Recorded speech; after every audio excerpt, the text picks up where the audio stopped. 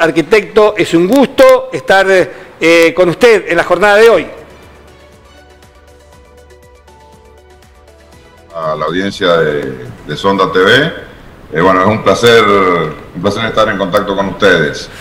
Bueno, arquitecto, eh, coménteme este, esta posibilidad que se ha dado este plan de el Colegio de Arquitectos y de una agrupación de arquitectos este, que tienen que ver con eh, determinar la situación de las construcciones de adobes en algunos departamentos. ¿Es así más o menos? Eh, inmediatamente después de, ocurrido el, sismo del, 18, eh, un grupo de arquitectos se, pone un poquito en, solidarios, ¿verdad? y en función de la magnitud del movimiento sísmico es que eh, toma la, decisión de salir a, hacer evaluación de, todas aquellas construcciones que han, que han sido afectadas. Eh, si bien en la parte edilicia eh, se, encuentran, se encuentran todavía los chicos trabajando y haciendo evaluaciones, inmediatamente después del sismo sale, sale este grupo de arquitectos en carácter de solidarios para ver todas aquellas construcciones que han sido afectadas. Eh, construcciones que han sido afectadas, muchas más de las que de las que oficialmente tal vez se han declarado. Eh, y tal vez porque se ha llegado a lugares donde el, Estado no llega, eh, que son todas aquellas personas que tal vez no se comunican con las entidades estatales, pero sí se comunican con un profesional para poder hacer alguna evaluación del tipo estructural de su, de su vivienda sí hemos notado que toda aquella que ha sido, que es construcción sismo resistente en San Juan, ha soportado muy bien los efectos del sismo. No así toda la construcción de adobe. Tenemos que tener en cuenta que la mayoría de la construcción de adobe, por una situación ya de fatiga de materiales, por edad de las construcciones, eh, han sufrido eh, han sufrido roturas y han sufrido eh, daños considerables patología, patologías que eh, son prácticamente irreversibles.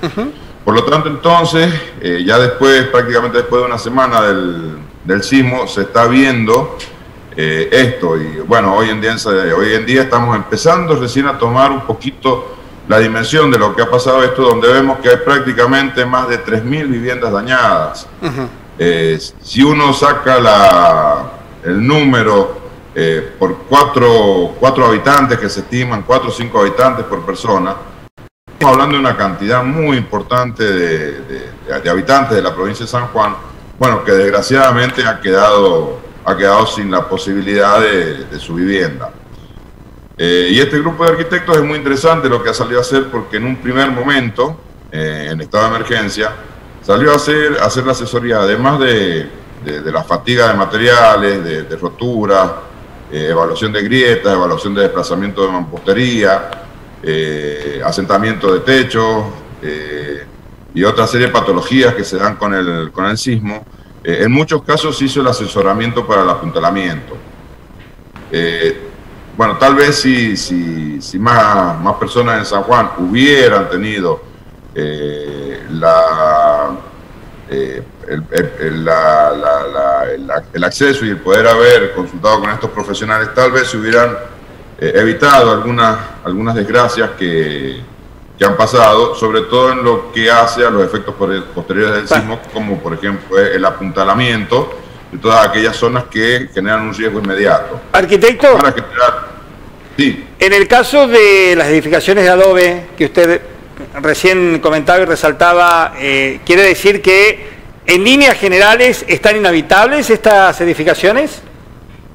Eh, hay una gran cantidad de, de, edificaciones, de viviendas eh, de adobe que han sufrido, han sufrido, no son recuperables, ese es el, Bien.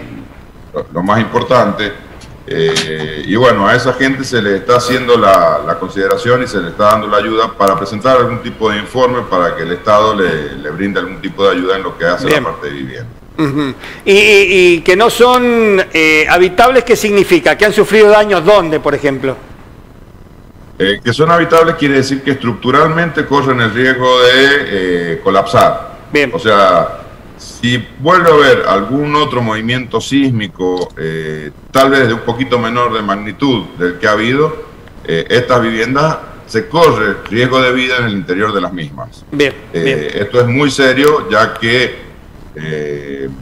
bueno, los sismos no tienen hora eh, y bueno, si a uno un evento de, estas características lo encuentra en, un lugar que no es el adecuado, seamos sinceros, también hemos corrido la suerte en este movimiento sísmico de que ha sido un horario fuera de comercio.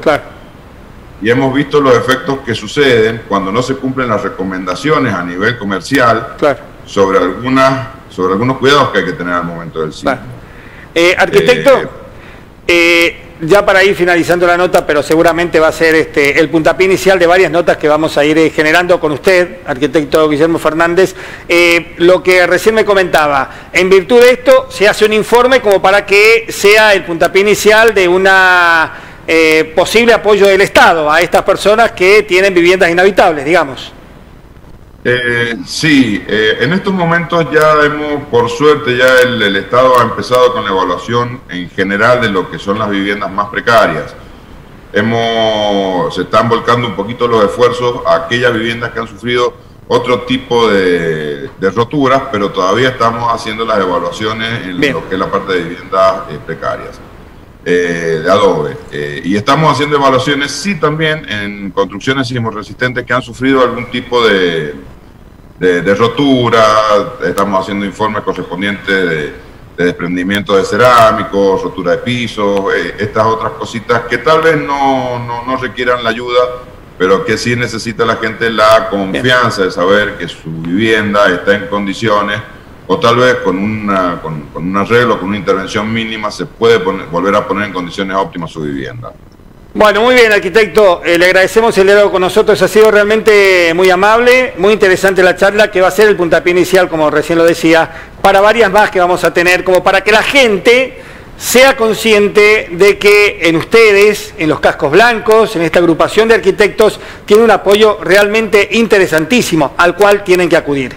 Muchas gracias, arquitecto. Voy a, hacer, voy a hacer, una última consideración muy, muy chiquita y es que por favor eh, todas aquellas personas que tengan este tipo de inconvenientes recurran a un profesional tanto de la arquitectura como de la ingeniería para hacer, para hacer la consulta. Eh, y por otro lado, eh, que este profesional esté debidamente matriculado en alguno de, nuestros, de nuestras entidades profesionales. Eso, eso es fundamental y es lo que avala al profesional para su actuación en el territorio de la provincia. Hay un mail. Hay un mail y un celular también que ustedes tienen, ¿no? Sí, yo tengo el, número de teléfono del colegio, donde toda aquella persona que lo necesite puede pedir un turno Bien. Eh, para, para, ir agendando la visita a su, A su vivienda. Eh, el número de teléfono es el 420-3547, el teléfono del, colegio. Ahí se los agenda, se pide el turno y en función de la zona en la que está, se deriva a alguno de los profesionales que está en la zona. Eh, bueno. Y ahí, bueno, ahí ya, ya derivan el profesional y, son atendidos por alguien que esté en la zona de ellos. Le agradecemos el diálogo, arquitecto. Ha sido realmente muy amable. Le mando un abrazo. Por favor, por nada. Muchas gracias. Muy bien, la palabra